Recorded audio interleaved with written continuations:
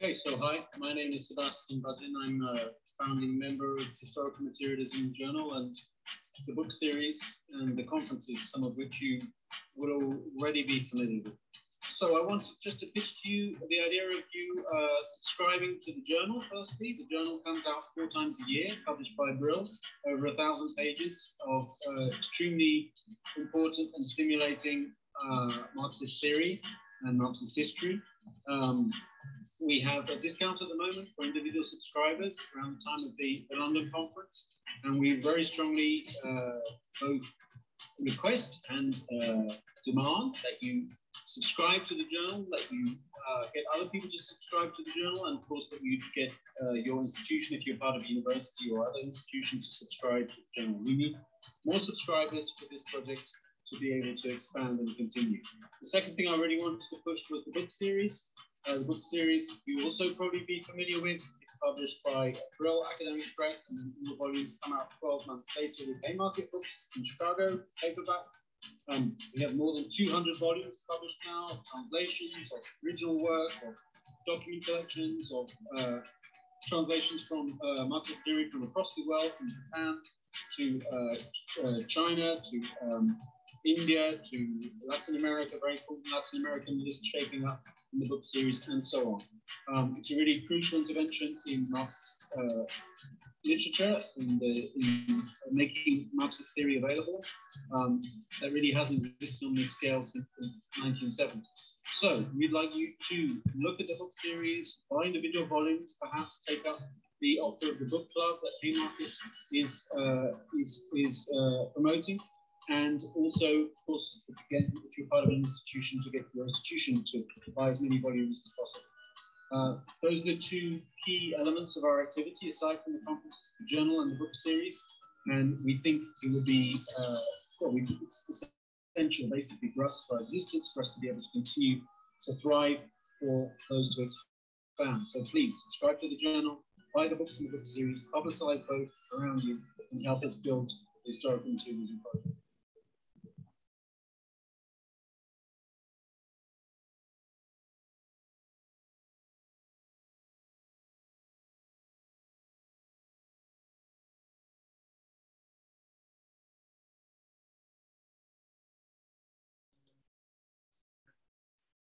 Hello, everyone. Um, delighted to be chairing this um, session with the um, annual um, Deutscher Isaac and the Tamara Deutscher Prize uh, lecture. This year um, with uh, John Bellamy Foster, who was awarded the 2020 um, Deutscher Prize for his fantastic book, uh, The Return uh, of Nature. John uh, will be uh, speaking to us. The, there is a video available uh, on YouTube. You might have received the, the link. And the paper coming from this uh, talk today will be published by Historical Materialism. We have three speakers uh, today. I'm just here chairing. My name is Alfredo Saad Filho. Uh, we have three speakers today. The first will be John Bellamy Foster, celebrating the award of the prize. Uh, then we will have two discussants. Uh, Professor Helena Sheehan, uh, Emeritus Professor of Philosophy of Science and History of Ideas at Dublin City University. Helena has been active on the left for many years, and some of her books are Marxism uh, and the Philosophy of Science, The Syriza Wave, uh, and Navigating the Zeitgeist. Um, then we'll have comments by Stefano Longo, who is Associate Professor of Sociology at North Carolina State University and visiting researcher in climate and environment at Lund University in Sweden.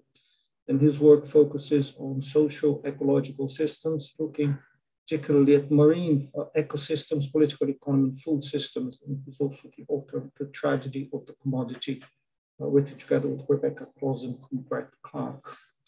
But the big prize uh, this evening is to uh, John Bellamy Foster. Uh, as I mentioned previously, he was awarded the 2020 um, Isaac and Tamara Deutscher Memorial Prize uh, for the return uh, of nature. And John will be speaking to us. The title of the talk and the title of the paper is The Return of the Dialectics of Nature, the Struggle for Freedom as Necessity.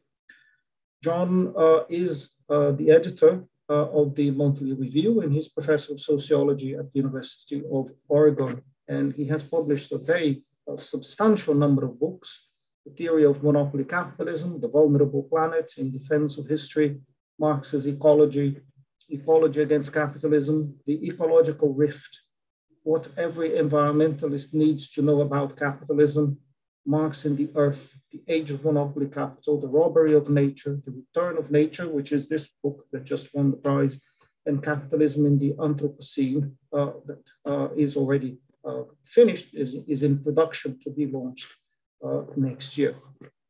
So this, this prize is a celebration of this fantastic output uh, in general by John and of this celebration of this book uh, in particular. Now, I will now um, ask or invite John to take the floor. But before I do that, uh, I would like to announce the um, 21, uh, 2021 uh, shortlist for the uh, Deutscher Prize. Um, had uh, six uh, books shortlisted this year. the prize, as everyone here will know, is awarded every year to the book that exemplifies the best and the most innovative writing in or about the Marxist uh, tradition. And the shortlist for uh, this year's prize, uh, it includes uh, six books. Uh, it uh, includes Caesarism and Bonapartism in Gramsci, Hegemony and the Crisis of Modernity by Francesca Antonini. Um, the Ideological Condition, selected essays on history, race, and gender by Himani Bannerji. Uh, jurisdictional accumulation, uh, an early modern history of law, empires, and capital uh, by Maïa Pal. Uh, a philosophy for communism, rethinking Althusser by Panagiotis Sotiris. Um, Stalin, Passage to Revolution uh, by Ronald Grigor Suny. And Capitalism as Civilization, a History of International Law by Ntina Tzouvala.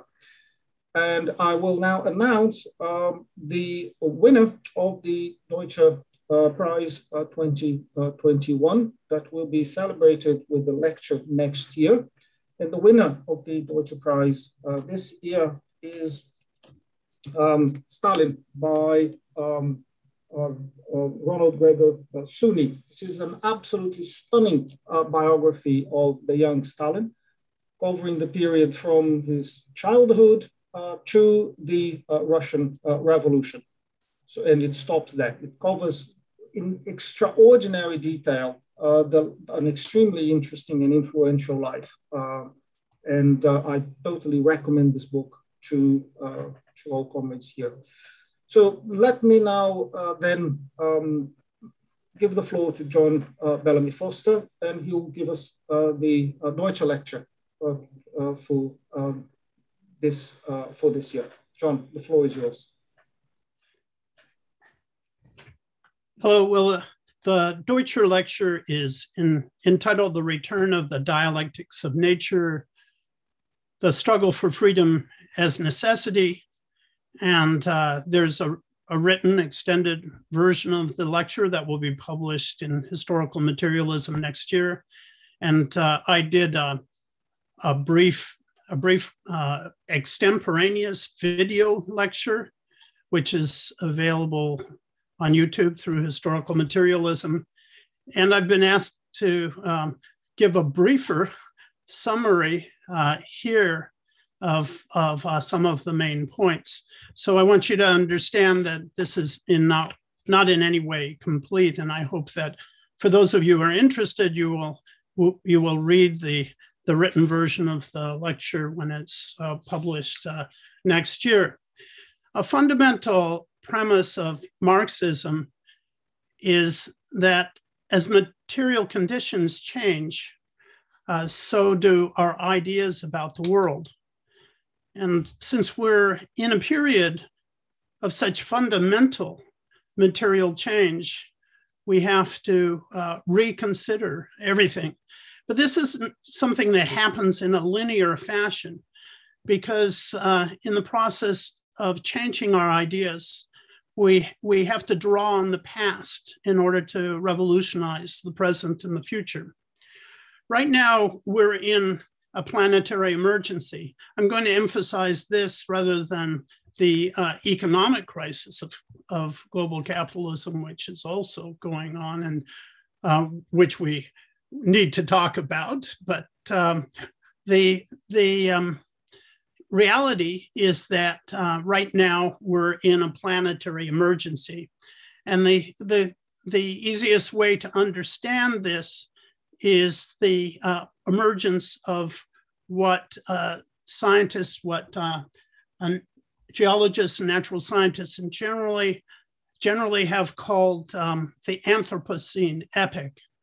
We, um, uh, for the last 11,700 years, we've been living in the Holocene epoch, uh, the um, a period in which uh, in which the climate has been quite mild and civilization is developed.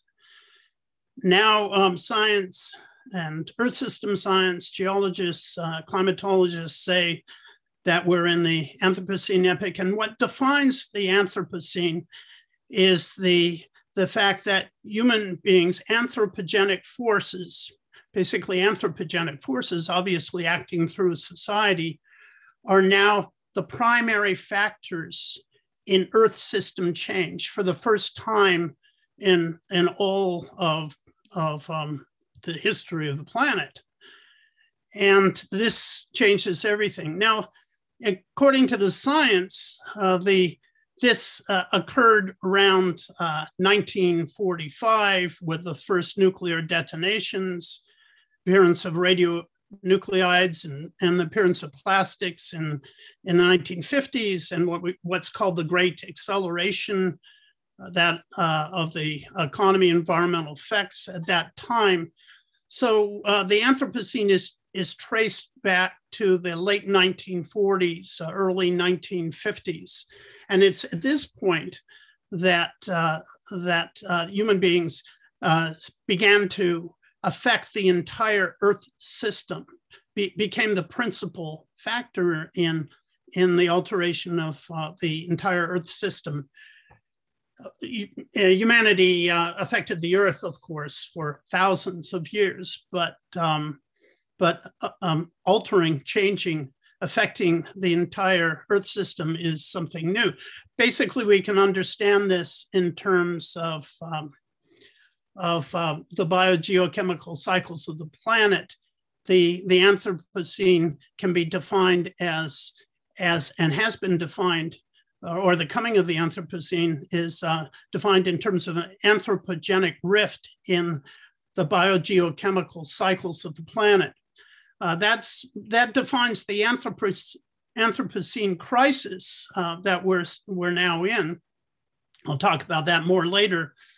Uh, but the Anthropocene as a whole, as a concept, simply means that human beings uh, are the the main factor in altering the earth. And this isn't going to change, even if capitalism goes away, something I'll talk about later. We, um, as long as we have industrial civilization, uh, from now on, uh, as and as long as uh, as human society uh, continues, we will be in this this uh, situation. Now, um, this coming of the Anthropocene in the in the late 1940s and early 1950s coincided with the rise of the modern environmental movement. It's no accident that the environmental movement started in the early 1950s uh, with uh, the, uh, led by scientists in a struggle against uh, radioactive uh, contamination, basically from, from H-bomb tests. And then the, um, the movement expanded um, beyond that to other kinds of toxics. Uh, for example, Rachel Carson in the 1960s, who really came out of the, the uh, anti uh, nuclear radiation movement. And uh, the, um, the environmental movement uh, skyrocketed from that point. But it was the struggle against radionuclides and against uh, toxics that uh, started the modern environmental movement. And it happened at the same time that um, the early 1950s, uh, when we, um, we um, what the period which we now see as the beginning of the Anthropocene. So we've been in a planetary emergency, but now it's it's much more serious. Uh, that um, although the human um, beings really began to affect the Earth system in the in the 1950s, uh, now um, it's gone so far that um, human survival is possibly jeopardized. And, and uh, so ecology is something that is, is now the dominant issue of our time simply because uh, it, uh, it is the fundamental crisis, the greatest uh, crisis that uh, humanity has ever faced, the greatest challenge. And um, in the 1980s, uh, there was a lot of discussion about, well, how, why didn't Marxists uh, not deal with ecology? Why didn't Marx not, not deal with ecology, address ecology? Uh, ecology was seen as coming out of uh, the Romantic poets and Romantic literature or out of Malthusian population theory. And Marxism was seen as having uh, often characterized even by Marxists as not having taken the environment seriously. I, I was uh, very clear that this was, was wrong. And uh, I started uh, addressing this problem in the late 1980s and in my book, The Vulnerable Planet in 1994.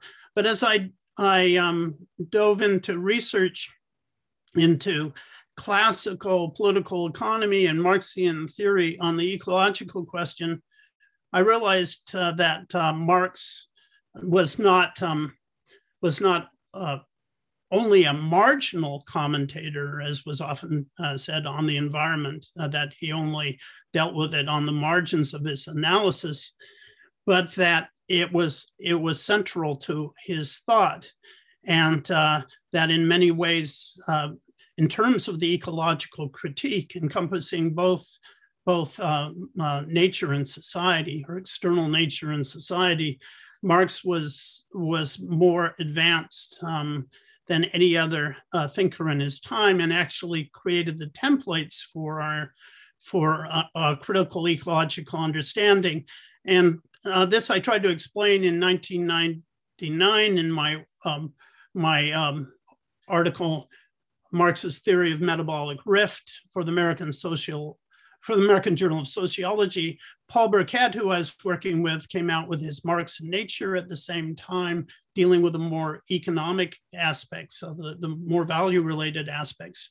And I, but I was puzzled by uh, the fact that Marx actually, in, in his analysis of metabolic rift, which most of you are familiar with now, had, had uh, penetrated so deeply into the, the uh, robbing of, of nature, the, the uh, disruption of, of, uh, of the metabolism between human beings and nature, or the disruption of, of the social metabolism, and how far reaching this was, and how deep it went into the science. And I didn't believe for a moment that he got this just from reading Justus von Liebig, uh, which, of course, uh, Liebig was very influential on Marx on this. So I went back, I decided to go back to the beginning and um, and Marx's and, and Marx's ecology, which came out in 2000, was about the, was about Marx's materialism, really. It's most famous for the chapter on the metabolic rift.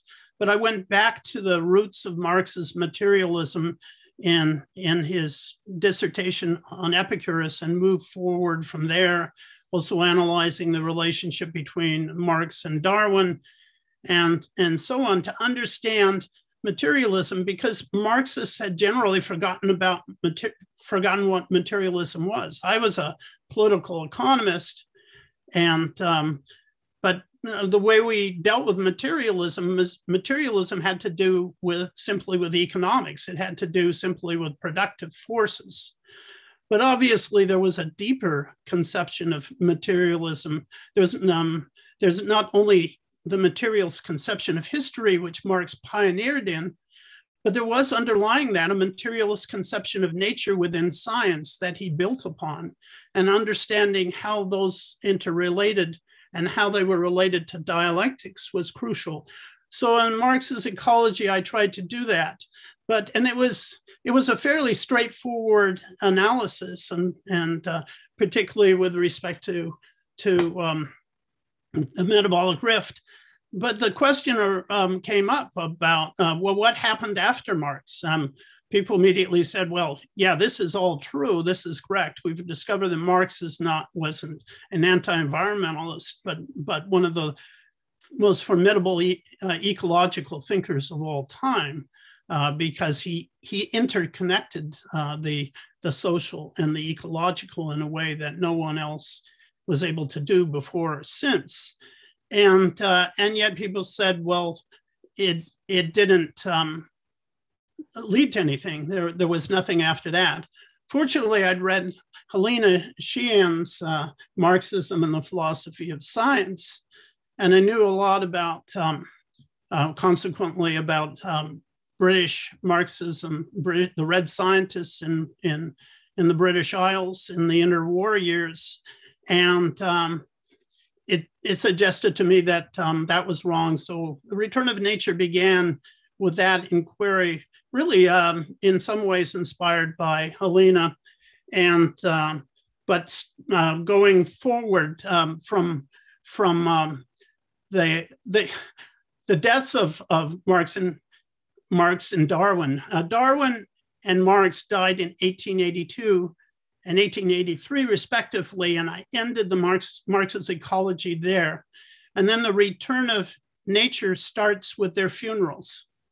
So um, I, tried to carry the story forward all the way to the ecological movement of the 18th um, of the of the 1960s, 50s, 60s, and 70s. So um, that was the purpose of the of uh, the return of nature. But um, there was immediately uh, a number of, of problems. Um, well, first of all, what I did discover, even though though um, it had um, been said that Marxism hadn't and socialists hadn't con contributed to uh, ecological analysis, I discovered that um, Marxists and socialists generally were um, the leading formative figures in the development of uh, ecology and the ecological critique. Uh, and, um, and that it actually did go directly forward from Marx and Engels, and that the, the um, the analysis that they had left behind was crucial in, in building this. One thing in Marx's ecology is I had also stopped short of dealing with Engels's dialectics of nature in any kind of real substantive way, although it's mentioned in the book. And I've, I, I um, did not explore Marx's own approach to the dialectics of nature very extensively in that book because I wanted to, because I had the idea of doing the return of nature already in mind, and a, a serious um, confrontation with, with Engels's work was necessary to move on to the next stage to deal with the dialectics of nature. But this um, created another problem, a much bigger problem, because uh, in the beginning of the 1920s, a big chasm emerged in in Marxist thought. Uh, the um, two the two dominant traditions became the official Soviet Marxism, which held on to the conception of the dialectics of nature and dialectical materialism, and in the 1920s created um, re revolutionary ecological conceptions. The Soviet Union in the 20s and early 30s was the had the most advanced ecological thinkers in the world, primarily, you know, primarily because they were building on these conceptions of dialectics.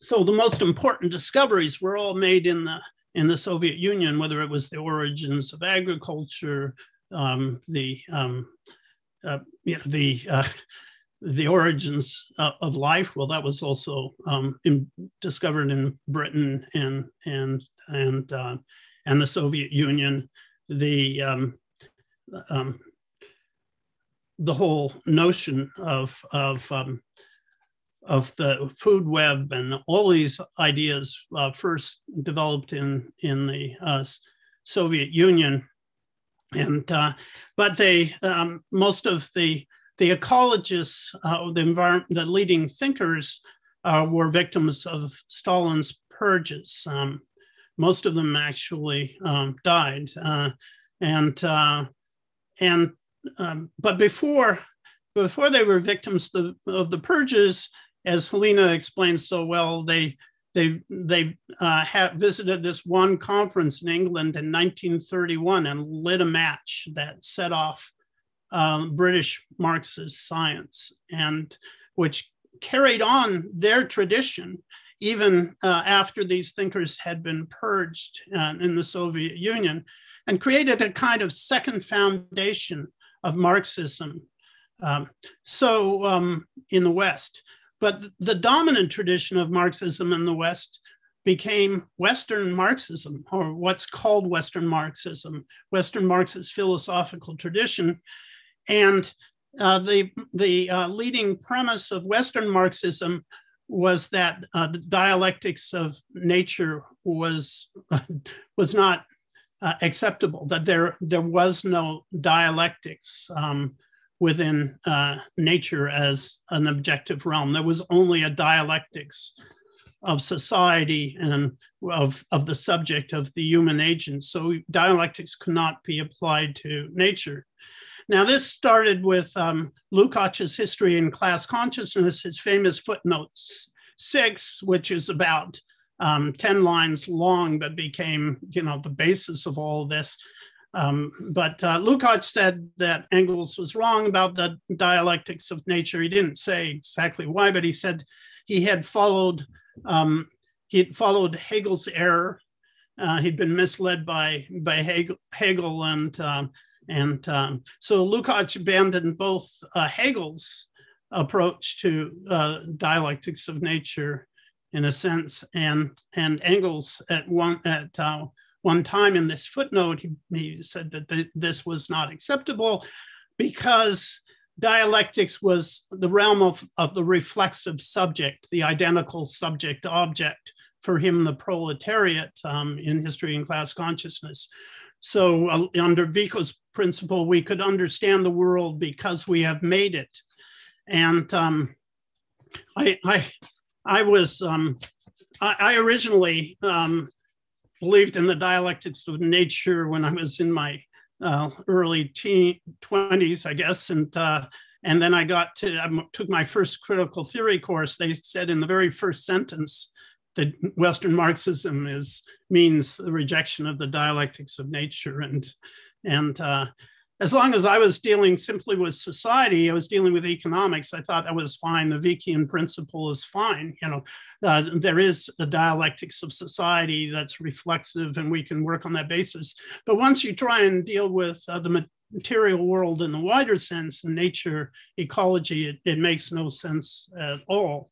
And uh, consequently, Western Marxism could criticize technology as uh, affecting the environment, the domination of nature, but they couldn't consider nature at all or any um, real social um, natural interactions. Um, the what Marx they couldn't consider what Marx called the universal metabolism of nature, because um, that took uh, West, uh, Western Marxism in a direction that was considered unacceptable. And without the dialectics of nature, the uh, Western Marxism couldn't have a materialist conception of nature. They were bound together, and so they were both abandoned.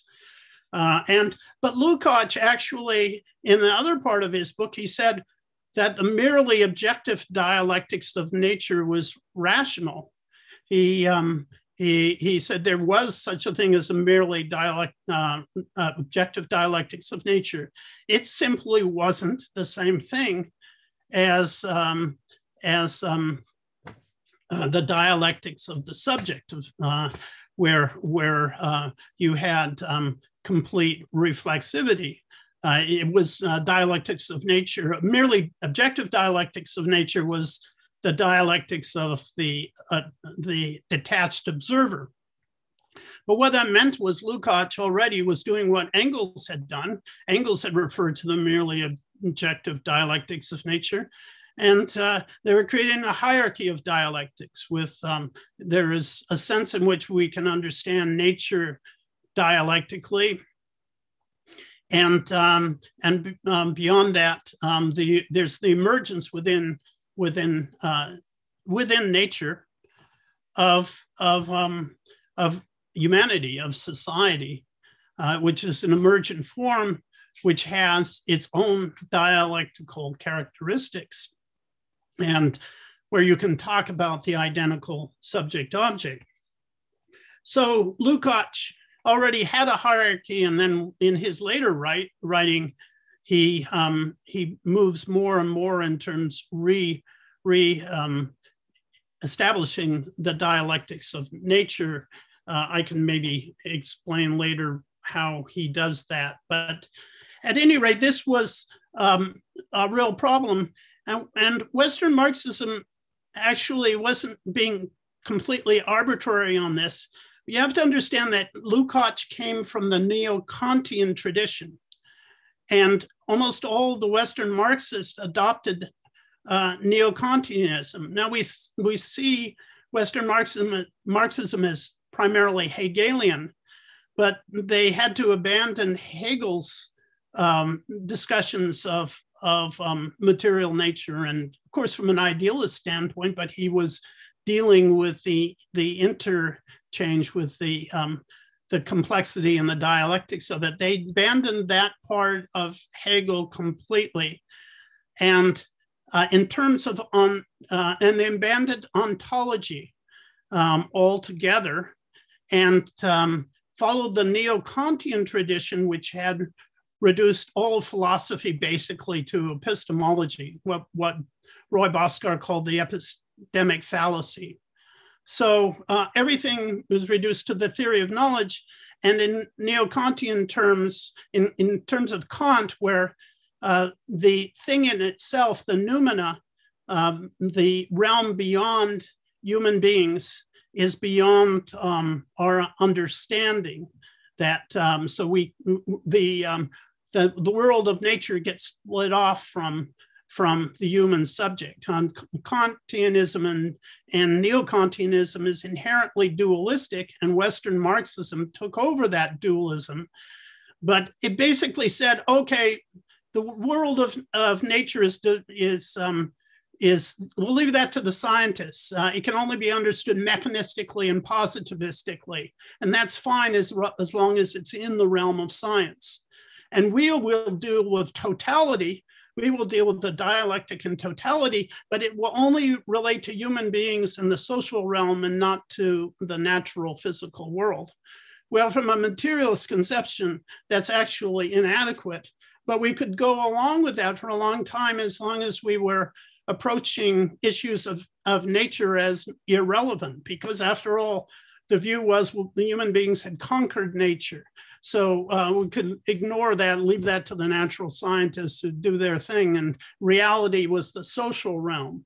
Uh, but um, um, that's not adequate. So I, in the re, in the um, return of nature, I try to deal with these problems, and a lot of this had the, took the form of neo-Western Marxism of the complete rejection of of Engels, and uh, uh, Engels was seen to have uh, taken Marx into uh, dialectical materialism and dogmatism, and uh, that Marx didn't adhere to the dialectics of nature, which which is is um, misleading, uh, to say the least. Um, uh, his approach was so, somewhat different, but very, um, but um, they were there was no real conflict between Marx and Engels in this respect. One of the things is that neo-Kantianism arose during um, Marx's lifetime, and even more Engels's. And Engels had to was was attempting to deal with it in the dialectics of nature, which he never finished. But Friedrich Lange who wrote the history of materialism in 1865, uh, was the founder of neo-Kantianism. And the purpose of neo-Kantianism was to destroy two things.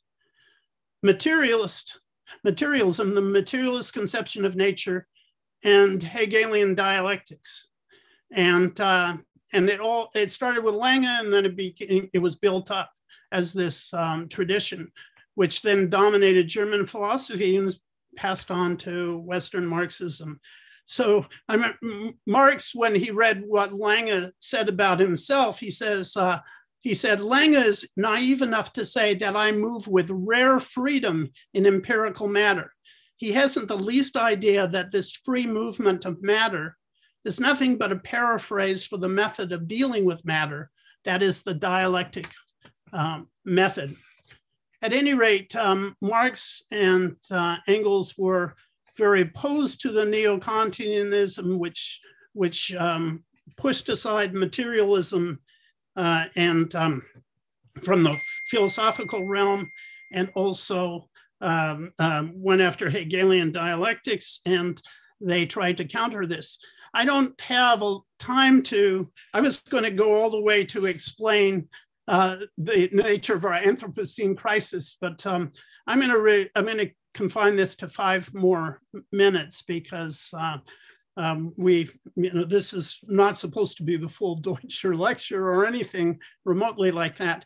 But I did want to explain, you know, Engels's dialectics of nature, a couple of points.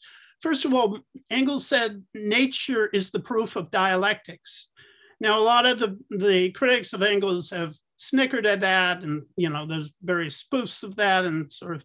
But um, um, when you translate that into our contemporary terms, um, and you say ecology is the proof of dialectics, nobody laughs at that. No, nobody uh, thinks that um, that um, is um, a, a conception to sneeze at. In fact, that's exactly what Engels meant, but they the word ecology did not um, functionally exist at, at that time.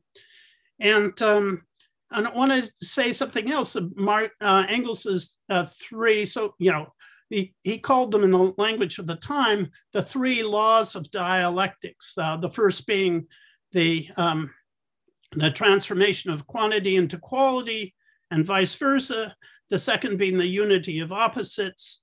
The, the third being the negation of the negation. These three laws um, are often criticized as dogmatic and nonsensical and so on, but that's hardly the case. First of all, you have to understand that these are what we call now in the scientific literature ontological principles. So these are three ontological principles, and that the the uh, the um, first principle of the transformation of quantity into quality and vice versa is what um, is understood in science as phase change or phase transition or threshold effect. In fact, the phase change concept was introduced by a Marxist mathematician, Hyman um, Levy, in the in um, the 1930s, uh, and um, the the um, the second ontological principle, the unity of opposites or identity of opposites, or as, as uh, Lukács says, the identity uh, of identity and non-identity, whatever, this has become the, the primary area of dialectics uh, for, for Marxist theorists. Now, it's not really in question, but all by itself, it's fairly empty.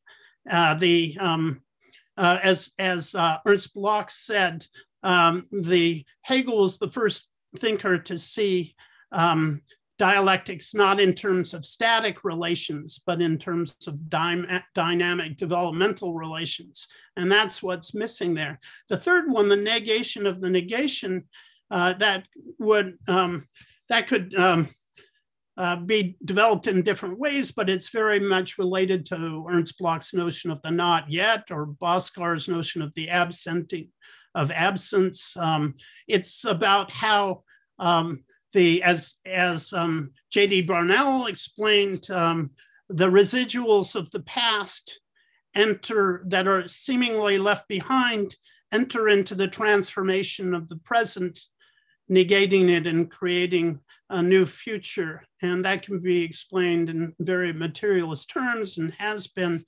Um, but if you look at these three ontological principles, what the first one is, is understood as, as a technically constituting emergence. That is, um, new integrative levels, new systems of order as science has it, um, resulting from changes in quantity, new assemblages.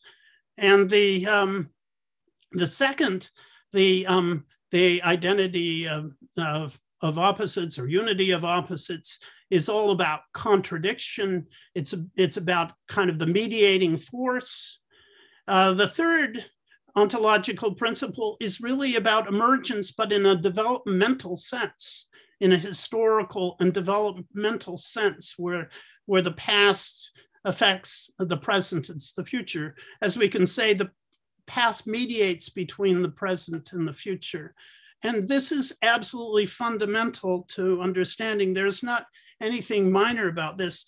In the, um, the British um, Marxists themselves building on these kinds of foundations, building actually on, on Epicurean materialism, which they, they traced forward uh, much like Marx himself did. And they all read his doctoral dissertation. And, uh, and um, so they had a very similar approach to materialist conception of nature um, as, as did Marx, as well as um, Engels' dialectics of nature. And the, the, the developments, the scientific breakthroughs are absolutely amazing. Uh, E. Ray Lankester, who was Darwin Marx's, Darwin and Huxley's protege and Marx's close friend, uh, was, was the greatest uh, biologist and ecological critic of uh, the late 19th and early 20th century in Britain. And the, the leading evolutionary theorist, uh, one of his theses um, he called it nature's revenges, but one of his theses was that all major epidemics in animals and humans in the in the present age were products of human production and capitalism in particular. Uh, this was a, a fundamental breakthrough. Uh, he uh, he was um, very much involved in studying epidemics in his time and in Africa, and uh, uh, it's just an example. It's, it's uh, uh, it was um, all epidemics have human causes. Uh, the Haldane's theory of the material origins of life, along with Oparin in the Soviet Union, was based on on um, clues left behind by by Engels and was uh, united with uh, Vernadsky, the Soviet um, um, geochemist Vernadsky's notion of the biosphere which involved uh, how life created the atmosphere. Um, Haldane's role as one of the leading figures in the, in the neo-Darwinian synthesis uh, was coupled with his integration of, of the dialectics of nature based on Engels. Bernal operationalized the dialectics of nature and the, negation of negation in terms of the role of residuals Needham, Joseph Needham developed uh, integrative, the theory of integrative levels, which was the, the you know the, the leading um, Marxist analysis of, of emergence, um, which materialist theorists led the way. Tansley, uh, A.G. Tansley, Arthur Tansley was like Lankester, a kind of Fabian socialist. Uh, he was Lankester's student. Uh, he um, he uh, was influenced by um, Lankester's notion of, of ecological um, nutrients and ecological cycling, and which you know Lankester, where Lankester overlapped with Marx, and uh, Tansley in combating the eco-fascism that was developing under General Smuts in South Africa, and working and um, inspired by Hyman uh, Levy uh, systems theory um, coming out of Marxism developed the concept of ecosystem, uh, which became the materialist answer to, um, to idealist approaches to ecology. Uh, Haldane's um, uh, early work with his father led to the first, um, the first estimates, calculations in Nature magazine of uh, carbon dioxide concentration in the atmosphere. Um, Bernal played the reading, leading role in the critique of uh, the social relations of science. Christopher Caudwell um, developed um, a, a kind of a dialectical approach to, uh, to um, both art and science, interconnecting the two. Benjamin Farrington and George Thomson built on Epicurean materialism and integrated with Marxist thought. I could go on and on, but these were incredible results. And all of these thinkers made major uh, contributions to ecological analysis, um, establishing it so that they, they were the thinkers who inspired uh, figures like um, Barry Commoner in the, in the, um, in the um, 1950s and 60s in the United States, and and Rachel Carson and and uh, and Hutchinson, G. Evelyn Hutchinson, who was the student of of um, of uh, Needham, Haldane, and Lancelot Hogben's, um, another Marxist scientist. Um, Hutchinson was was uh, was um, Hogben's uh, uh well, protege in a way, because Hogben had introduced uh, Hutchinson to ecology.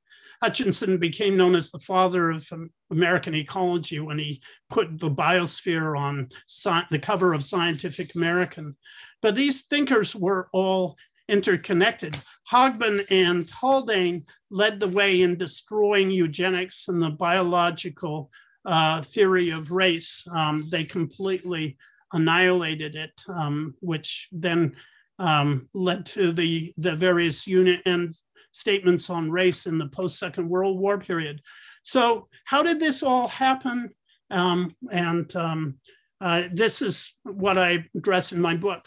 But I'll end with one quote by Caudwell. I won't actually get to the ending that I had planned, but um, uh, Caudwell said, um, the external world does not impose dialectic on thought, nor does thought impose it on the external world. The relation between, between subject and object, ego and universe, is itself dialectic. Man, when he attempts to think metaphysically, contradicts himself, and meanwhile continues to live and experience reality dialectically.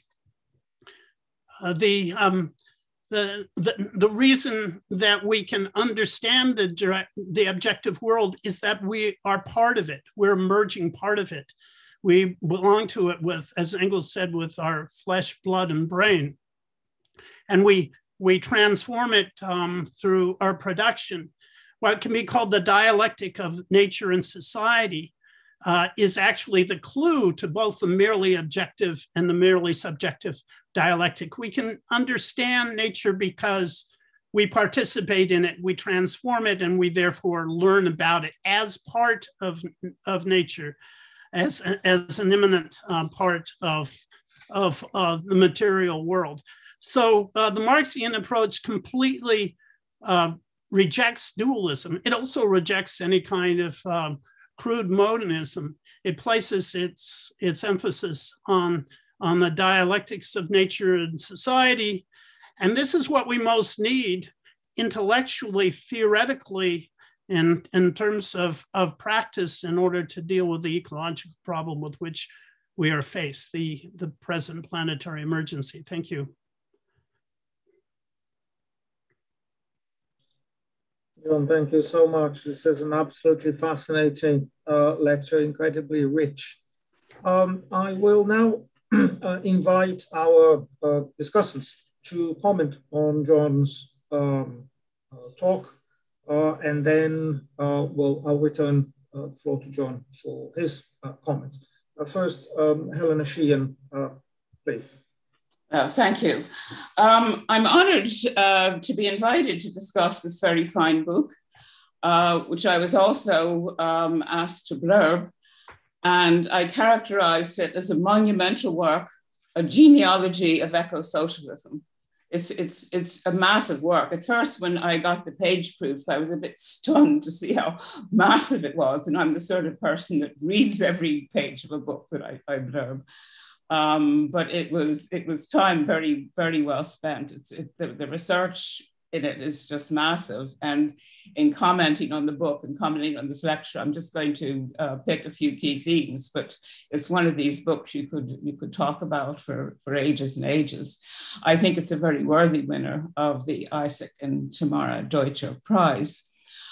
Uh, whenever this prize is mentioned, um, it brings me back to my time when I was a member of the Communist Party of Ireland and I was reading Isaac Deutscher and admiring the work of Isaac Deutscher, which wasn't exactly done in those circles at that time.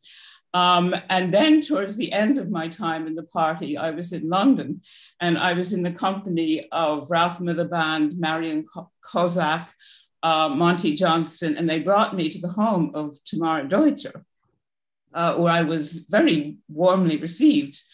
And if anybody has a romantic notion of European left intellectual salons, this uh, evening actually um, fit that image. Um, and it's always been a very fond memory of, for me that always comes back whenever this prize is mentioned. So um, as the years have passed, uh, I think there's a better atmosphere between different sections of the left, which manifests itself in all kinds of ways, uh, in the ways that we work together on the Irish left. Um, but uh, it also has manifested itself over the years uh, in these historical materialism conferences. But bad as uh, the relationship sometimes was between communist parties and Trotskyist parties in those days, uh, in the 1970s, one thing we tended to agree on was the dialectics of nature. Um, while the dominant position uh, in academic Marxism and in various social movements, uh, which existed at that time, uh, was that of Western Marxism which is addressed by John in, in this lecture uh, and in his books. Um, it wasn't as clean and clear as that, however, uh, because it was also at that time making inroads even into the communist parties. Um, and it was very strong in the CPGB. Um, there was a very lively debate uh, in the mid 1970s in the pages of Marxism Today, which was brought to a very abrupt halt when James Klugmann died and Martin Jacques became the editor.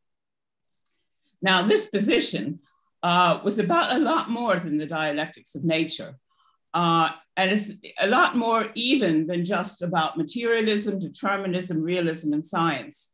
Um, it was about class, culture, politics, economics, mode of production, historical materialism. Um, all of these concepts were, were beginning to slip. Um, now, this, this Marxism today trend, the Western Marxism uh, position, it was very alert in its way to the trends of the times, but it conceded so much that it actually lost its core, uh, in my opinion. Um, and it was revising Marxism to such an extent that it was often questionable whether it was even Marxism anymore. Now, you know, they were reacting against a, a, kind of dogmatic position that was there, um, often in the Soviet Union, often in communist parties. Um, I, was just remembering when John was talking there about the, the three laws of dialectics, um, the sometimes, you know, very dogmatic catechetical. Is the word catechetical familiar? Maybe it's just because I grew up Catholic with the catechism. Um, I don't know if that's a common word, but I, I, used to think that in the Communist Party that the ways of these, these three laws of dialectics are taught was and received was, was very catechetical. Um, and also in my research, I went back to the Comintern where, you know, the term uh, dialectics was used as a quasi-mystical term, um, often to justify sudden lurches in Comintern policy from something one day to the exact opposite in the other. And, and if anybody sort of raised a query about this, we said, you're not being dialectical, comrade.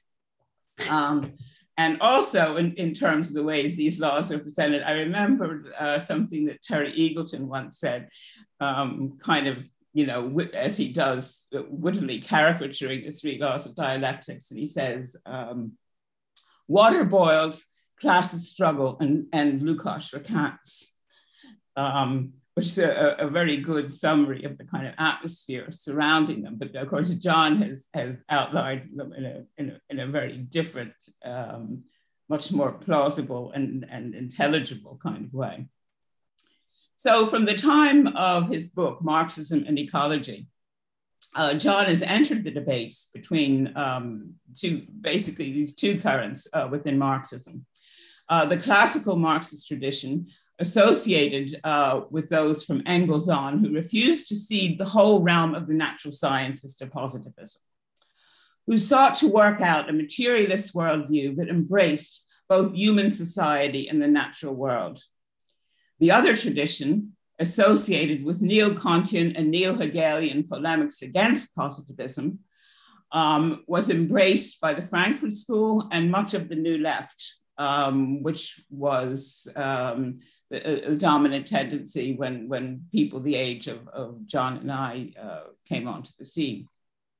Um, and, um, and, and this tendency argued against the idea of the dialectics of nature, or even the involvement of Marxism with the whole realm of the natural sciences.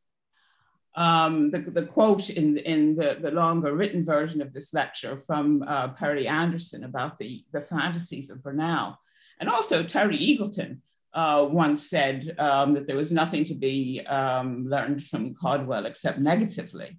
I think a lot of the of my generation, you know, 60 in, in the 1960s, had a very bad attitude um, to the generation of, of the 1930s.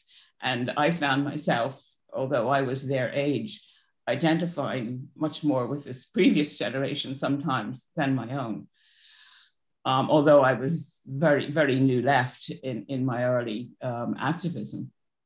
Um, so um, in, in the Marx's, Marx and Ecology book, um, John, if I, if I remember this correctly, um, admitted to actually changing sides uh, in this debate.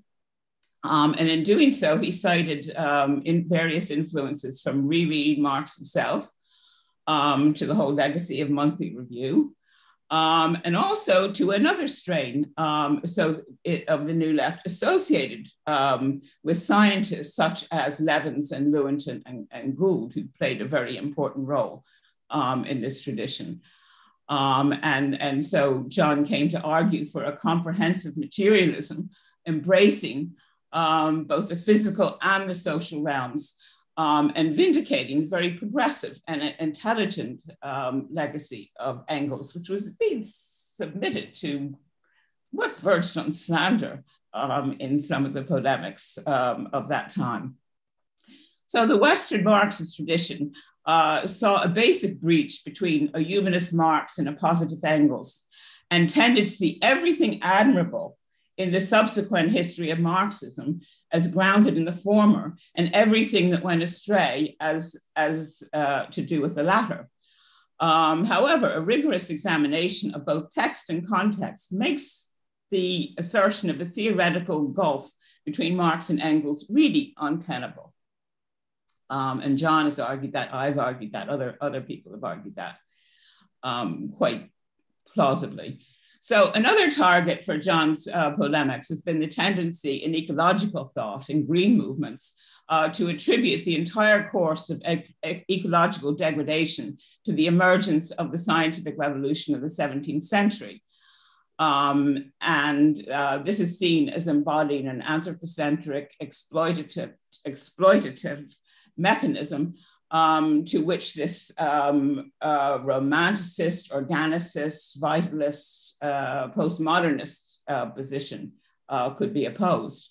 Uh, and as John's pointed out, this is a dualist perspective um, that's led to much of the contemporary uh, ecological movement to a crude rejection of, of modernity and science and to caricature the Enlightenment to caricature um, Marxism and to um, to to uh, aim for some kind of uh, to glory in some kind of irrationalist myopia. So, in contrast, uh, John's work has made a strong case for Marxism as an ecological theory, and in fact, as the best possible theoretical basis for ecology.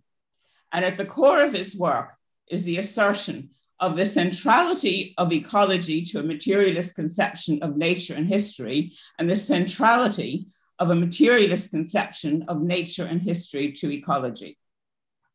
So once the ecological dimension uh, is reconceived in this way and grounded in a realist epistemology and a materialist ontology, it can be seen that the obstacles to a rational metabolism of nature and society lie not in modernity, not in science, not in materialism, but in the capitalist mode of production.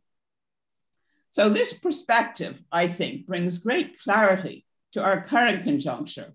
And it's no wonder that there is a resurgence of interest in what Marxism brings to our current crises. Now, in this lecture, which John ha has entitled uh, The Return of the Dialectics of Nature, um, he cites the current planetary emergency as the major force in citing this, which is obviously the case. But I would also add uh, certain other factors. Uh, one would definitely be the current pandemic, which I think has brought fresh interest uh, in, in Mar the Marxist tradition with respect to science. Um, and there's also the fact that the alternative approaches, the various varieties of neo-positivism and postmodernism, simply don't do the job. They simply fail uh, at an explanatory level, and people are looking around for something that is more comprehensive more coherent and beginning to, to, to at least respect Marxism um, for this. Um, and hopefully they'll, they'll progress from there. Now, I've taken a, a, somewhat polemical tone here, not, not a polemic between John and I, uh, because we, we basically hold the same position, but uh, between this position and, and, um, and other trends. Um, uh, Tommy Jackson, uh, a member of the CPGB who, who, wrote a book called Dialectics, once said that a crowd would gather for a dogfight that would be scattered by a sermon. So I want to say a final word um, about um, historical materialist conferences in recent years um, and the, the philosophy, uh, the presence of philosophy in historical materialist conferences. I've noticed a tendency to articulate uh, the various positions present as Althusser, either Althusserian or Hegelian. Um, and I've, I've, I, have always found this kind of odd and, and um, disorienting uh, because I, I'm neither of these. Uh, and then I was thinking, well, what am I? How, how would I characterize my position? Um, I regard my position as mainstream Marxism. Um, I always saw myself in this tradition that John has outlined in, in his book and his lecture here, in the tradition of, of Engels, Caudwell, Bernal, Haldane, Levins, Lewontin, and of course now Foster. Um, and uh, I'm very happy that this prize um, and, and this discussion tonight is honoring that tradition and perhaps playing a part in mainstreaming it again um, because I think it is mainstream Marxism. Thank you, Elena. This is fantastic. Thank you very much for that. Um, Stefano, please. Hi, thanks. So um, I'm very pleased to have been asked to discuss John's important work tonight. Thanks for inviting me. Um, you know, I've John's work has influenced me for my whole career, basically, and um, I'm very honored to be part of this.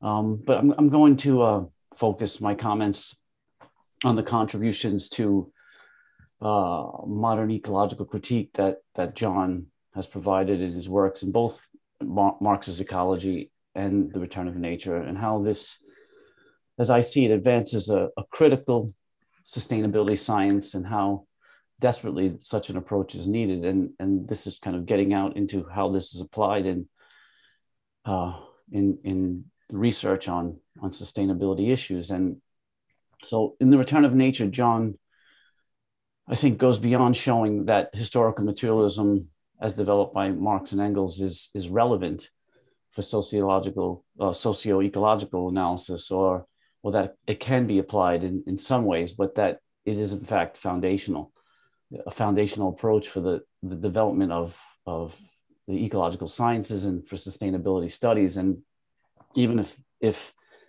fairly recently, this has been declared irrelevant or even considered unproductive in its so-called Prometheanism, John has shown that that that that's inaccurate and how foundational it, it is.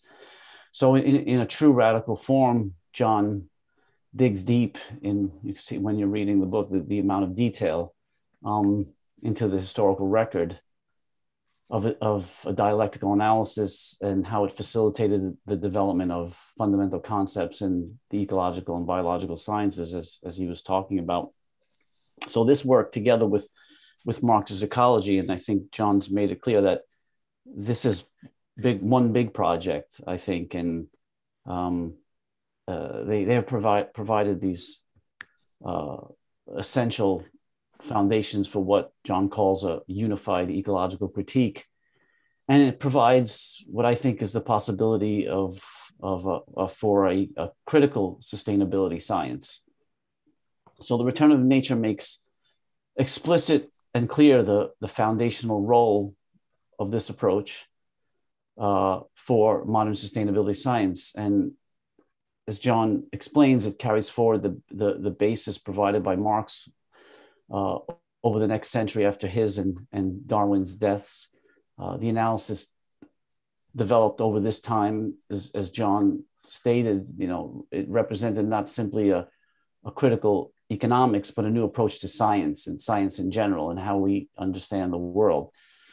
So by developing the synthesis and putting these historical pieces together, John enhances the potential for a comprehensive and systematic approach for the analysis of socio-ecological processes in, in the modern era. And so that that's to say that the work is not simply of historical significance or setting the record straight. That it is that those things, uh, but it threads together the wealth of knowledge and historical materialist thought, for the further development of a, a, a, modern critical sustainability science, which is to be uh, you know, for lack of a better term, a holistic interdisciplinary science. Uh, more specifically, uh, I think John in, uh, provides us great detail about the essential power of a, of a dialectical po- approach for for this and, and, and for a critical scientific understanding in, in an era in which we face, as we know, an, uh, an unprecedented uh, ecological challenge. So, as I said, I've, I've, been inspired by the analytical approach that uh, John's work has provided, and, and I've tried to apply this in, in my own in environmental sociology and sustainability science. I, have tried to use it to better understand socio-ecological processes in, for example, fishing systems and food production and, and the social structural drivers of environmental change. Um, so as a result, it's forced me to grapple with some difficult questions, methodological questions like for starters, uh, how does one study the complex system that is modern society? Uh, what does a socio-ecological analysis look like today? Uh, how do we effectively apply the social metabolism concept and develop it, develop a, thoroughgoing dialectical, historical, materialist, socio-ecological analysis? And can this provide the basis for critical science, critical sustainability science? So uh, I, you know, I go back to Marx's ecology, and and and John in in the talk that's on YouTube clarifies that a full materialist outlook developed by Marx has three aspects, and that's at the beginning of Marx's ecology. The one ontological materialism, two epistemological materialism, and, and three practical materialism. And I think these three aspects can be seen as methodological guiding threads for research design and analysis. That is, how do we develop uh, sustainability research that draws on the important insights of historical materialism laid down by, by Marx and Engels. And each of these, I think, provides important insights, right? One, in terms of the ontological materialism, that social science can develop analysis which takes seriously the materialist conception of nature underlying the materialist conception of history, right? Uh, this, this is uh, fundamental for doing that. Two, in terms of epistemological materialism, that, that we can apply a critical realist approach, one that analyzes the society nature dialectic and makes efforts to bridge the social and natural science disciplinary divisions. And, and three, in practical materialism, uh, that when we're doing this work, human praxis must be a point of departure. That is, labor and the production process need to be central to the analysis. So this sets the stage for developing this kind of critical analysis and a critical sustainability science research that allows for a dialectical historical materialist approach, one that develops, as Marx suggests in his, in his letter to Arnold Ruge, a ruthless criticism of everything existing. So as John states, we have to approach such studies in a critical way. A critical sociological, socio-ecological approach must be historical, materialist, and dialectical. It, one that can be scientific yet not positivist or reductionist. Uh, it is materialist but not mechanical or determinist. It, it emphasizes change and contradiction, but it's not tele- teleological. It's an approach that can analyze culture, but in a materialist context. So uh, Marx argued that adopting such an approach allowed for what he called genuine scientific research rather than apologetics.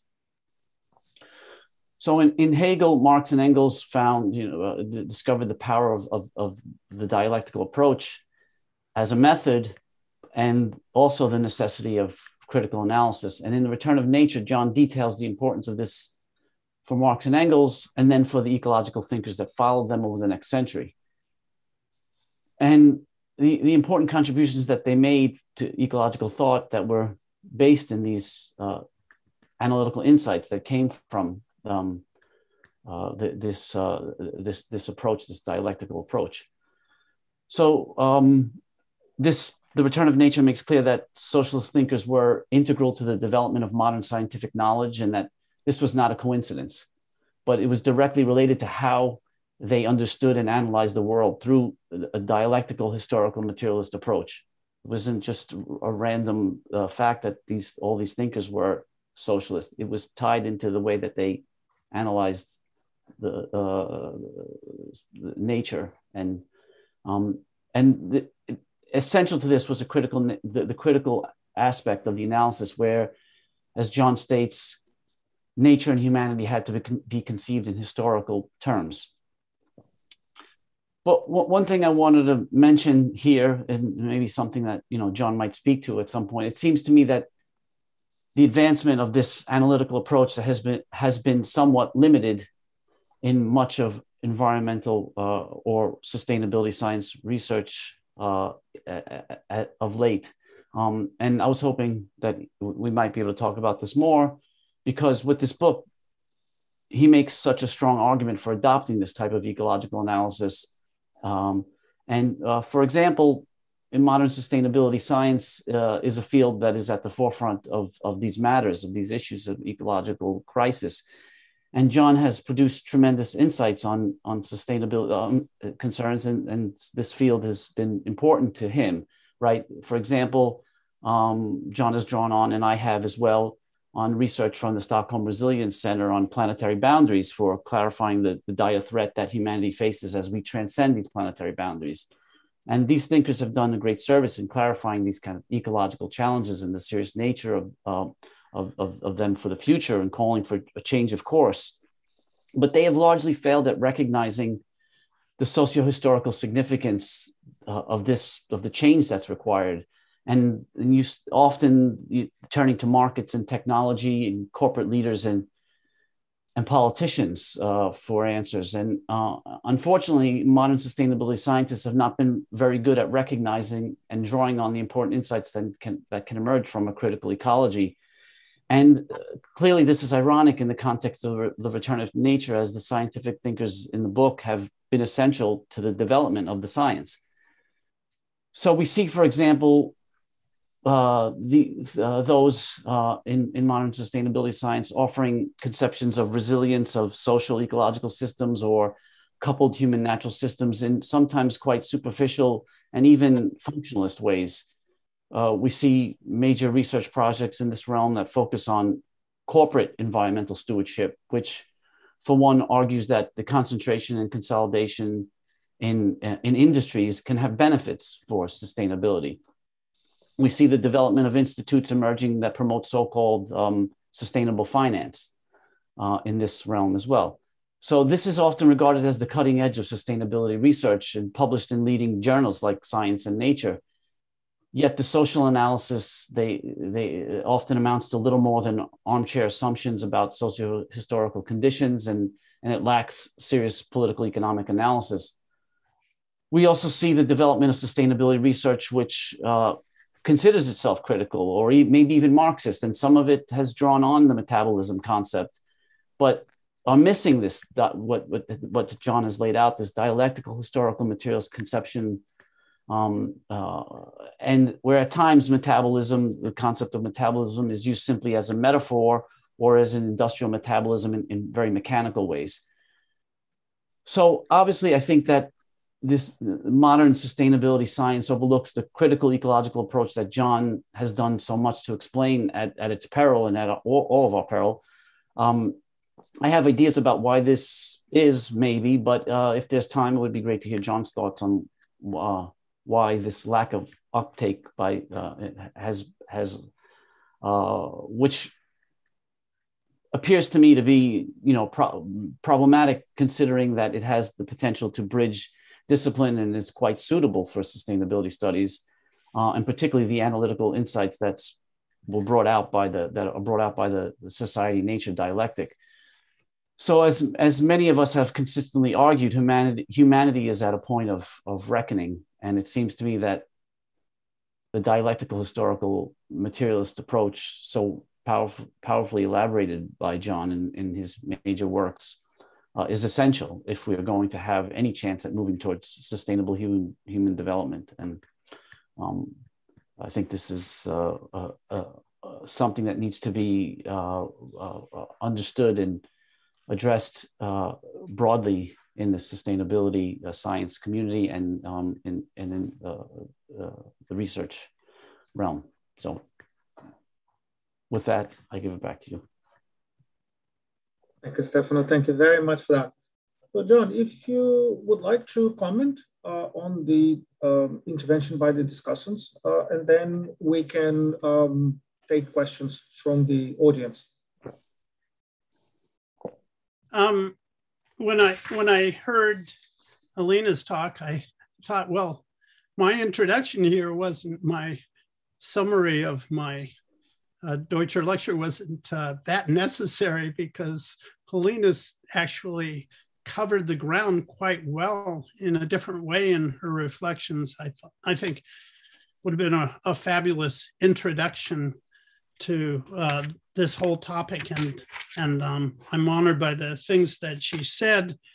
I I too think that uh, that I belong to mainstream Marxist tradition, although I don't know if I, I like using mainstream related to Marxism at all, but, but uh, certainly a critical Marxist a tradition that um, builds on classical uh, Marxism and its fundamental concepts, particularly in the areas that we've been talking about, and how odd it is uh, to, as as Lena said, to have uh, people think that uh, um, Marxian philosophy or uh, is is uh, boils down to Althusserianism versus uh, Hegelianism, and uh, we we we certainly learned a lot from those debates. I certainly learned a lot from from my studies of Hegel and from critical theory and Frankfurt School and um, even um,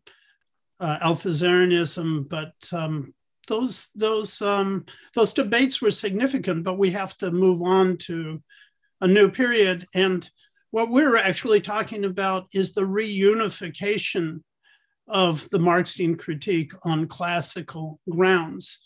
I, I explained it as in terms of a chasm between the official Soviet Marxism and Western Marxism primarily. And over the dialectics of nature, the materialist conception of nature, and so on. And um, obviously, there were political differences as well, but the, the th- theoretical arguments really rested on these points. We have to um, develop an analysis that supersedes those one sided positions and allows us to uh, move forward with the dialectics of, of nature and society with a materialist conception of, of nature and together with a materialist conception of history. And this doesn't mean discarding anything altogether. It means uh, reconfiguring and, and uh, superseding um, in, in a dialectical way uh, the, the uh, divisions that lay between us. Certainly, it's no longer possible to uh, be a meaningful critical thinker at all and to leave uh, the universal metabolism of nature, that is, the natural world as a whole and the human relation within it, outside of the analysis. We can no longer afford to subsume nature in society. We can no longer afford to perpetuate uh, dualist uh, conceptions. Even sometimes in the name of anti dualism, we find uh, thinkers promoting dualist rather than dialectical conceptions. And I think Helena and I are, are agreed on that. I think uh, Marxist theory is going this direction as material conditions change. Um, so we, do we rediscover uh, the, the power of, of our own uh, critical analysis? So um, I, I just thought that um, Helena's analysis uh, was wonderful. I agreed with it all, and I would I would um, happily uh, substitute it for for my own statements. It's it's um, uh, so good in that way. So the one thing though that Helena brought up that um, in terms of um, planetary emergency, or, or also including the the uh, COVID pandemic, COVID nineteen pandemic of course, that's the way I look at it. The way I look at planetary emergency, and I actually plan to say more about the about that at the end of the talk, but I realized I had too much material. Uh, but um, the planetary emergency, I, I think of very much in terms of what what uh, Stefano said, the planetary boundaries. The in the in the conception of planetary boundaries in science, uh, the uh, we we're and Earth system science. There's an anthropogenic rift, a term introduced um, to define the Anthropocene crisis, the you know the initial stage of the Anthropocene. And the anthropogenic rift consists in our crossing of the various planetary boundaries, not climate change only, which is, of course, the most uh, uh, present in our minds, but also uh, species extinction or biological diversity crossing boundaries in, in that area, the um, disruption of the phosphorus and nitrogen cycles, the uh, destruction of, of ground cover and principally forests, the uh, desertification, loss of fresh water, the um, uh, chemical uh, crisis, the spread of, of toxic bio accumulating and biomagnifying toxics and and um, and uh, radioact radionuclides, and uh, all of these, and of course the um, ocean acidification and uh, depletion of the ozone layer, which is not as critical um, now, but is a serious issue. Uh, all of these are planetary boundaries that we uh, have crossed or in the process of crossing that each one of them represents a global ecological crisis threatening humanity. And they all have a common denominator of capitalism. And I've actually argued that, um, that uh, zoonoses, the creation of uh, the development of new zoonoses as a result of agribusiness, should be added as a 10th planetary uh, boundary um, as part of this same uh, anthropogenic rift, which is further complicated um, by climate change. So this is a um, way of understanding the ecological crisis that we're in, and we can't reduce it just to climate change. Uh, I mean, even at the global level, um, and we can't reduce it just to climate change because all of these other global ecological crises are occurring concurrently.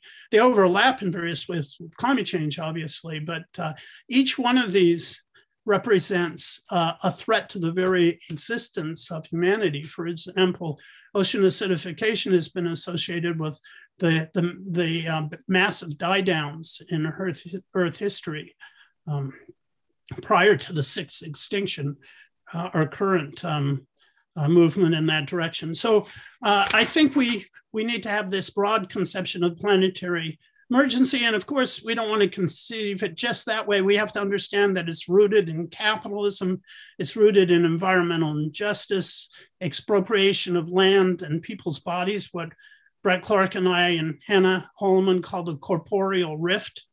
And uh, all of these things are, are um, related and part of the planetary emergency. And, and I've referred to the Anthropocene crisis, but uh, the, the Anthropocene itself is defined as, as um, uh, the ep- epoch when uh, human uh, beings, when anthropogenic forces are the main factor in Earth system change. Uh, the only way we're going to get out of that is through an Anthropocene extinction re- event that uh, annihilates um, the species on the Earth um, you know, the majority of species on the earth, including ourselves.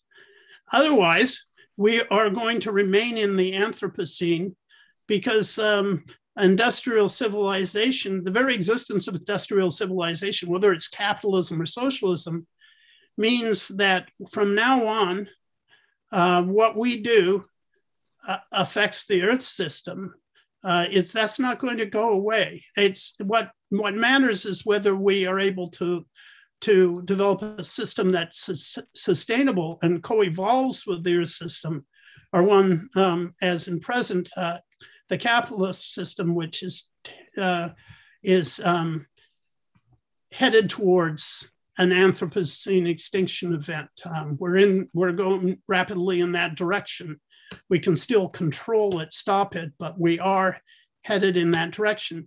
Now, the way to understand this more concretely, some people have tried to um, substitute the notion of Capitalocene for Anthropocene, but that's a um, that's a category mistake. The Capitalocene doesn't really have any meaning in defining a, a geological epic, uh, and the, the, the, it misses the main point of the Anthropocene discussion, which is that that human beings are now um, anthropogenic factors are now the main factor in changing their system, and that's not going to go away unless we go away.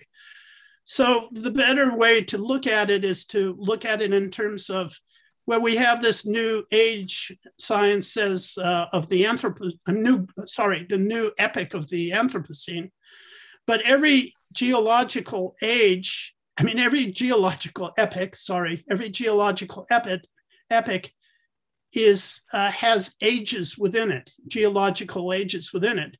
Officially, we are living in the Meghalayan age, which started 4,200 years ago and is the last age of the Holocene epoch. And the Meghalayan age was associated, at least when they first conceived it, with, um, with the uh, first destruction of civilizations due to climate uh, change um, and um, not anthropogenic climate change, but, but, due to climate change. And uh, but what with the Anthropocene, with the rise of the Anthropocene epoch, we are in a new age, but science has not said what that age is. What is that geological age? Well, that geological age is now determined by the social system. So Brett Clark and I have proposed that it be called the Capitalinian and uh, because it derives from capitalism. And our object has to be to end the Capitalinian by 2050, which is the marker for net um, uh, a net zero carbon, and enter a, a new age, which will require an ecological revolution of the Communian, where we have a sustainable relation to the earth. So this is sort of a way to understand what the bigger issues are. So I wasn't actually ignoring the pandemic and referring to the planetary emergency. I think it's a central aspect of it. I would call it the 10th planetary boundary. the um, I, I found Stefano's remarks also um, really uh, wonderful and and uh, a great introduction and um, a different uh, window on what I've been doing and are trying to do. And um, I, I, I love the course of the notion of the trying to develop a foundational approach for a critical ecological science. And the emphasis on the three um, uh, aspects of any fully developed materialism which I'm, I didn't have time to talk about, but is in the Deutscher um, lecture paper, the ontological materialism, based on the notion that that human beings uh, um, are that uh, that nature, uh, the physical world exists prior to and in and uh, in many ways independent of human beings, that it's an asymmetric relationship with human beings as an emergent part of nature, but dependent on the physical natural world around them. This is a fundamental materialist ontological perspective, uh, which Marxists have often have recently tended to forget. Epistemological materialism, which I think is, is best understood in terms of dialectical critical realism. And uh, I think Bhaskar is very helpful in that. But ultimately, practical materialism. And practical materialism doesn't mean just social practice, it means that human beings, um, in their production, in Marxist terms, are engaged in a social metabolism with nature. So it creates a dialectic of nature and society, which is was is the basis for our understanding of the ontological materialism. Um, it's it's actually um, how uh, human beings belong, as as Lukács argued in his ontology of social being. It's it's the ontology of social being of human beings, and uh, it also is the basis of our epistemology. How do we understand the world? In Marxist terms, we understand it because of our practical relation to it. So I think that that bringing that out was very important. I don't know in terms of like the the science, you know, to what extent are scientists not um, failing to, are failing to um, bring in uh, these social scientific scientific conceptions? I just read a book by Michael Mann, where you know he's been a very great um, a climatologist, but on on on social science he he attacks um, he attacks um, all sorts of people connected to to to me, and he attacks uh, Naomi Klein. He attacks um, uh, well, he attacks a whole lot of figures on the left, and um, and uh, he he says that that Biden represents the um, the intelligent ecological course, um, and he doesn't seem to have any conception of capitalism whatsoever. Marx continually raised questions about. They said like natural scientists are are um, extraordinary in their insights, but when they leave their domain and they enter social science, they often muck it up. He he talked about Liebig as as messing up once he tried to go beyond the natural scientific domain. And there's there's problems with this. It's the way science is incor- incorporated into capitalism uh, J.D. Bernal always uh, said, and it's based in Marx and Engels, that a rational science is impossible under capitalism. Um, we can have elements of rational science, but a rational science overall and its implementation is is impossible on, under science under capitalism. That doesn't mean we have to reject science. We need to incorporate um, what is meaningful and, and powerful and uh, important and what's dialectical.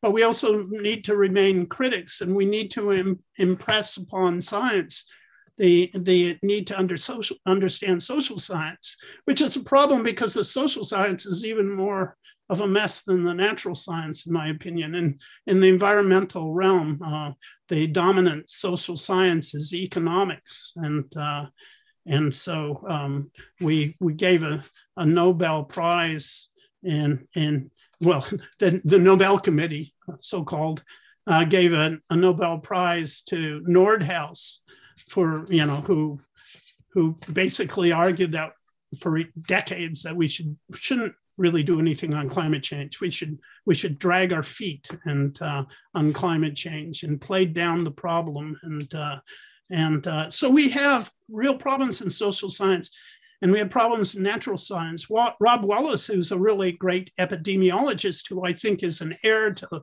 Levins and Lewontin and this whole dialectical tradition, has been the leading figure in explaining uh, the the nature of the pandemic, and of course, writing for Monthly Review, with, um, but and, and incorporating the metabolic rift into his analysis. He's been the most formidable thinker, but but Rob Wallace was was driven out of a job because why?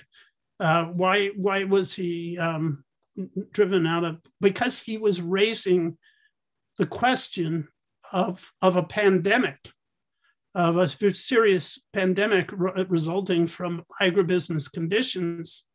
And so they pushed him out of employment, something I wouldn't mention, except that he's, he's the kind of person that explains it very proudly in his own books. And uh, so we have problems like that. Um, and um, I don't know what the answer is, but we're, we're, we're getting, we're moving forward. The movements are beginning to embrace eco-socialism and as Marx said, you know, when he asked, when he was asked, uh, well, what is um, the what? The answer is struggle. So in the intellectual realm, we have to struggle as well. Uh, thanks, Helena and Stefano. John. Thank you very much. We have uh, got a few questions that came up in the chat. So I'll just read the questions and ask John for his comments on all these questions that we have already got at the same time. That's in the interests of uh, of time. And then if Helena and Stefano would like to uh, make quick comments uh, after John, that would be that would be welcome too. So uh, first question is, uh, Professor Foster believes that the ecological crises will persist regardless of the persistence of capitalism. What does it take to stop the crises then? The second is, what do the panelists make of Sebastiano Timpanaro? Engels and uh, dialectics of nature was important for that thinker, for, for that thinker. Um, then could John make his understanding of ontology clearer? Is, is it uh, dialectical materialism in the field of science predominantly? What else? Um, we have a couple of comments about um, what is uh, dialectical materialism. If John John may or may not want to, uh, to comment on, on that. Then I'm curious to hear Professor Foster's or others' comments on Alfred Schmidt's um, Marxist concept of nature. Currently reading it and find it incredibly illuminating.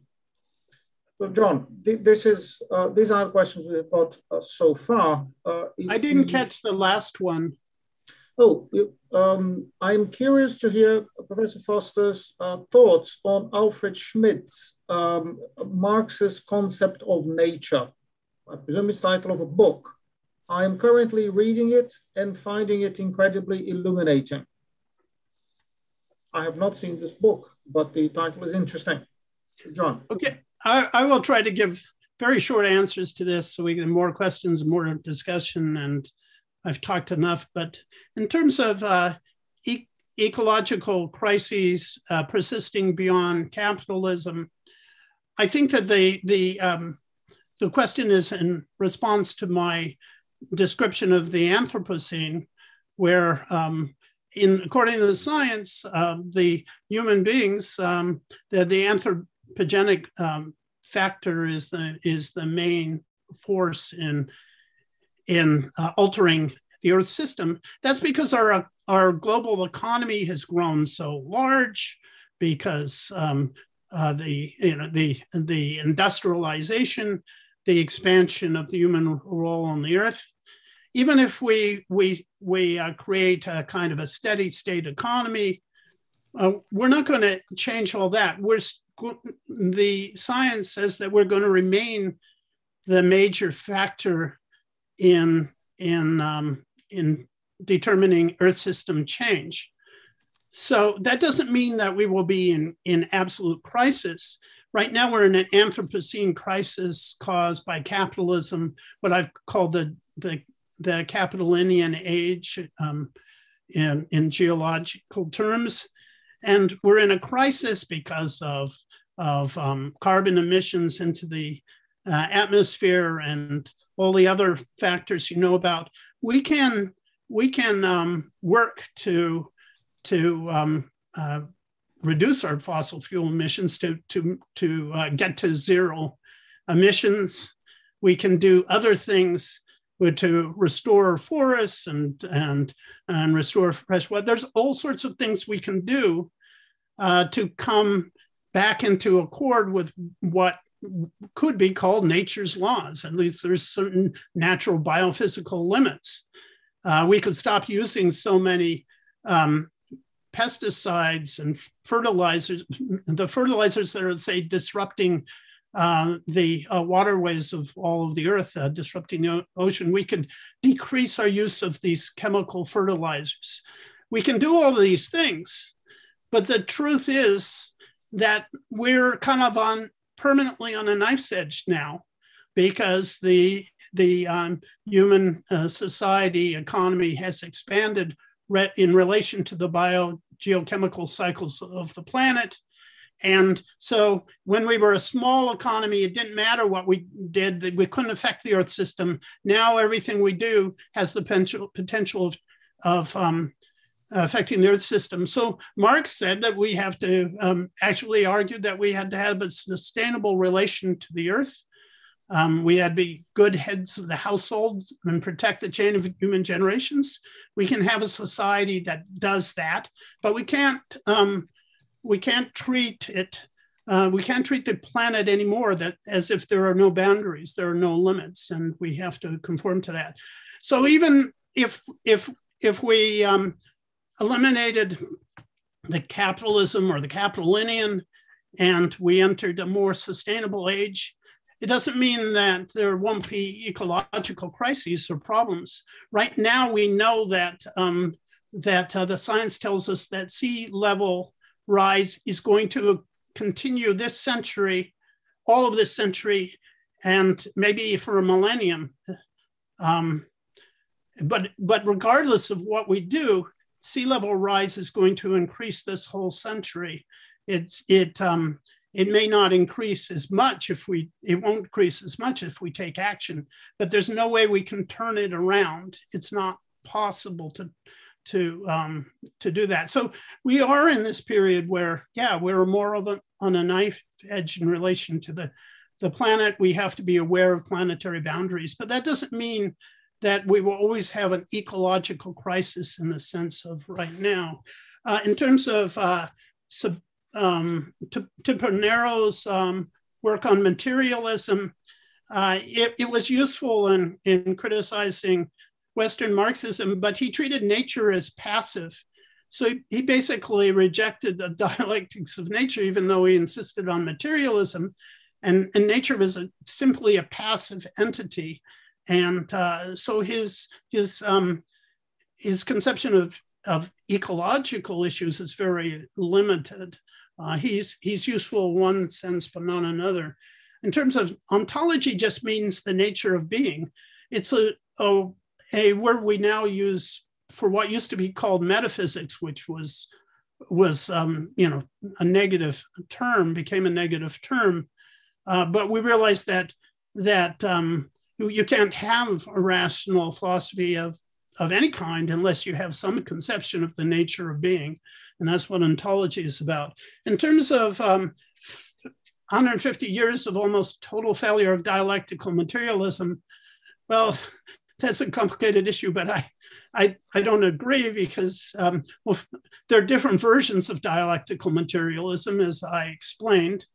Um, and uh, I actually think that Engels' approach is probably better called di dialectical naturalism but in terms of um, the red scientists we were looking at, in terms of the, the whole British tr tradition, including um, thinkers who were dealing with aesthetics and so on, um, you have you have this development of, of an ecological tradition, the foundational notions of ecology coming out of what is very clearly um, a, a, dialectical materialist um, tradition so how you could call that a failure when it's the basis of um, of our modern ecological understanding and say it's a 150 years of total failure, I I I um you know, I simply can cannot believe that. There were failures among dialectical materialist thinkers, but I never judge a particular tradition by the worst thinkers. I always try to judge a tradition by its best thinkers and see what I can learn and throw out the garbage. So there, yeah, there's a lot of a lot of um, of failures, but the um, but uh, the successes in the ecological sense are just um, tremendous. We wouldn't really have um, a, the theory of systems ecology we have now if it weren't for the um, dialectical materials tradition. In terms of Alfred Schmidt's uh, concept of nature, I've written quite a lot criticizing it. He comes out of the Frankfurt School. His, you know, his mentors were Horkheimer and Adorno, and he basically um, uh, there are a lot of good things in in his book, and they he actually says at one point that um, that Marx's notion of metabolism is is the only meaningful approach to the dialectics of nature. But then, but then he he later repudiates that. Uh, he he basically came out of the Frankfurt School, adopted the dialectics of enlightenment view of of Horkheimer and Adorno that said, yeah, well we is terrible the the con- concept of the domination of nature um, that the Enlightenment brought, but ultimately we have to accede to it because there's no alternative. There's no ecological depth in his analysis, um, and I think the the analysis is idealistic and upside down. And um, but I've written a, a, lot about it. I think you can you can find um, my discussion with it in with Brett Clark in um, my book, The Robbery of Nature. Um, it's a, a, piece on Marxism and the left.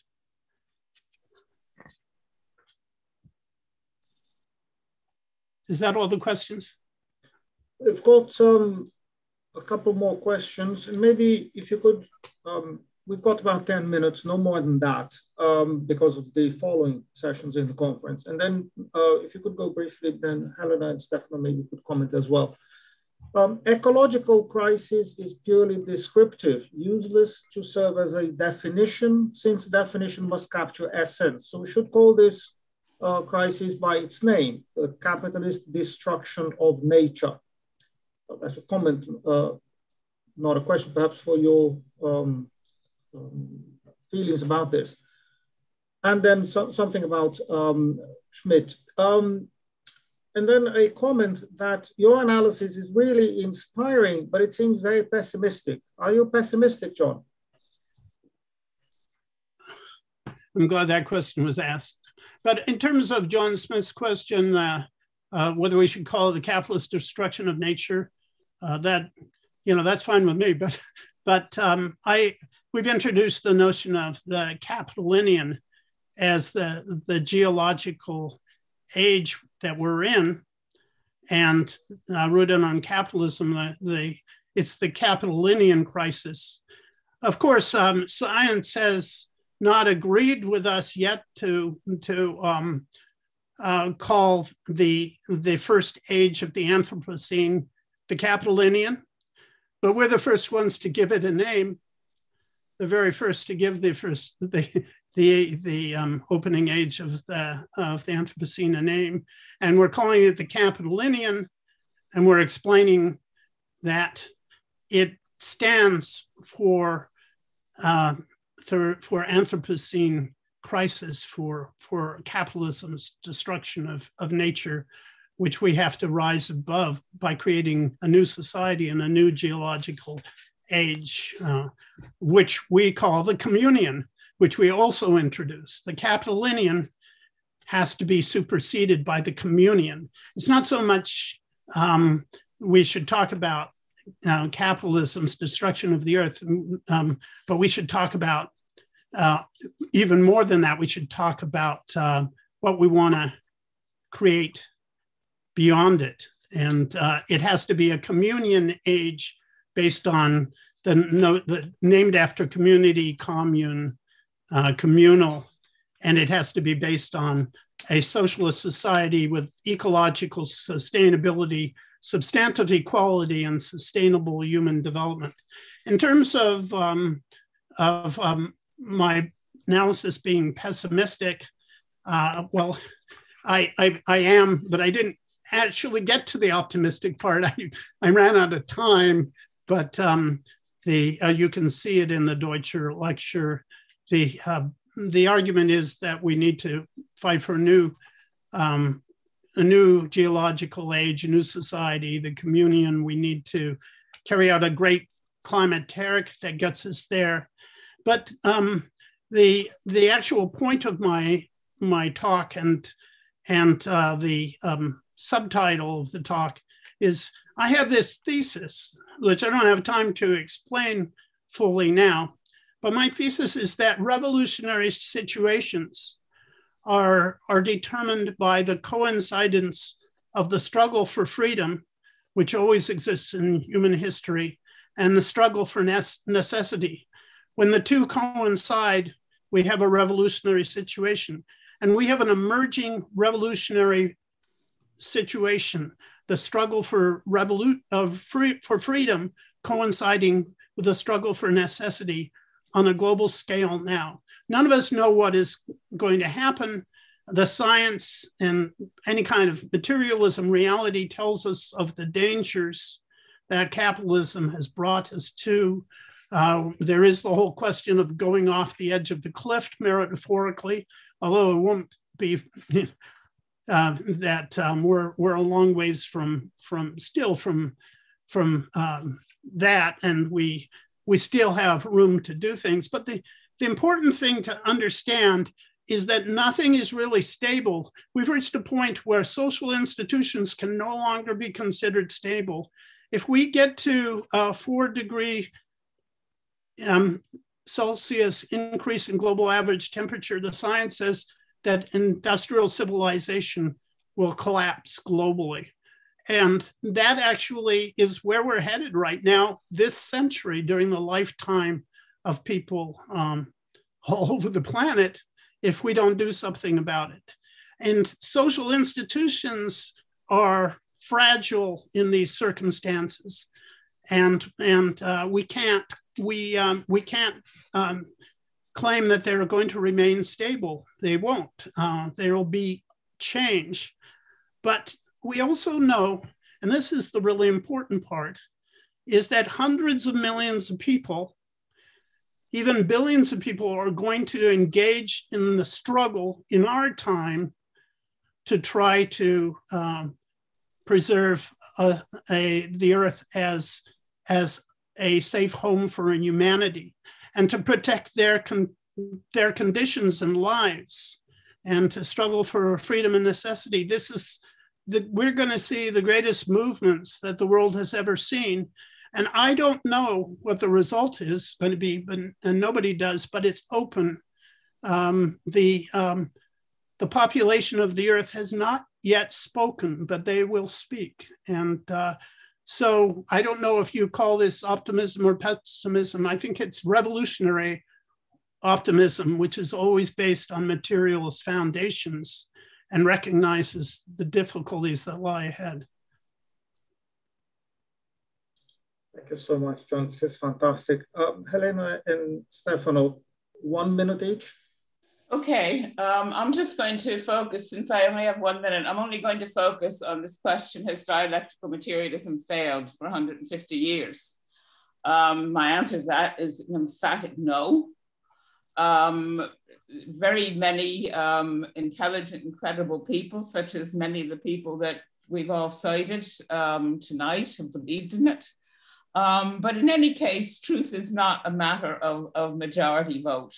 Uh, there are far more people that believe today in fundamentalist Christianity or Islam than believe in Marxism. But are they right? Um, there are even more people, um, including intellectuals, and I'm finding this especially among younger intellectuals, um, who have not worked out um, a clear worldview. They've not really laid firm foundations for the way they think. And so, you know, their academic work is constantly at bay. They're flailing about. There's no core to them. Um, and it's, it, it, it's a mess. Um, and uh, the person that wrote that comment uh, in, in the comments box said that it was uh, too vague and confused to be of any practical use. Well, all I can say is that um, it's the most practical thing in the world to me because it affects the way I think about everything every day. Um, because I have laid, you know, clear foundations uh, and have a clear worldview, and it affects the way I think about everything. And to me, that is like totally practical and clear. And I think that Marxism illuminates the world in a way that nothing else on the horizon does. I think it's still the unsurpassed philosophy um, of our time. Thank you, Helena. Uh, Stefano.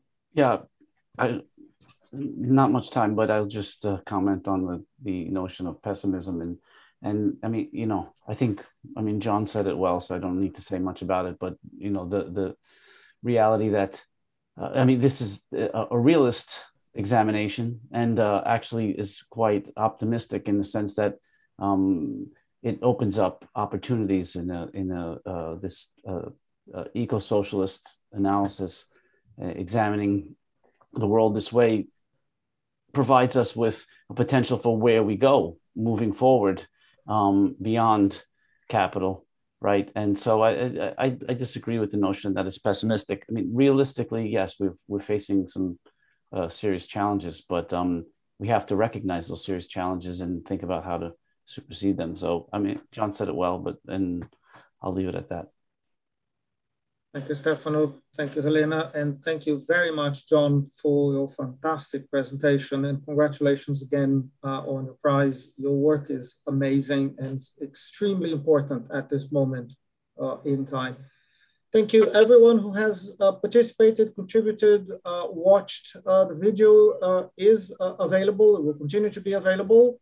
Um, thank you so much uh, to Historical Materialism for hosting the Deutscher Prize uh, lecture and publishing uh, the uh, lecture uh, by the prize winner every year. It's a very strong relationship that we value enormously. So thank you very much to the journal.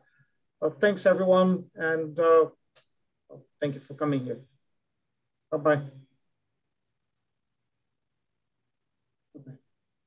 Bye. Bye. Nice to meet you, Helena.